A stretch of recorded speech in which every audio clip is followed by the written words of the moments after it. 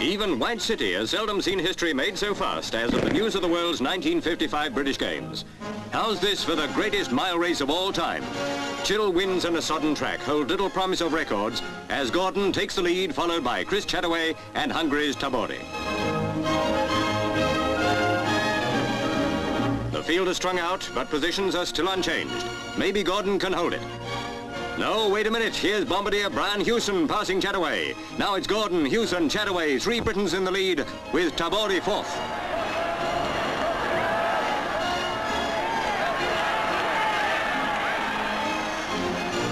Gordon couldn't keep it up and now it's Hewson and Chataway.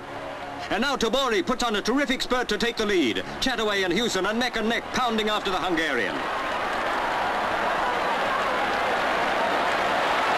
And what a finish. Tabori, Chataway, Hewson, all within the four minutes, which two years ago were but a dream.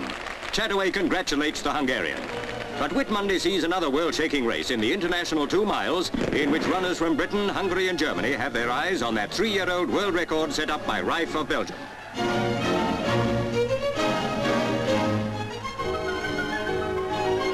Pacemaking in the lead is Saturday's miler Tabori, followed by his compatriot Iharos, with Britain's Suddaby third and Ken Wood fourth.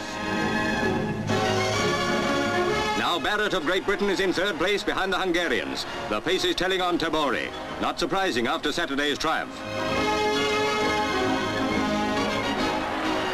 And here they come. Iharos smashes the world record by seven seconds, followed by Britain's Ken Wood, also inside the world record, with Barratt third.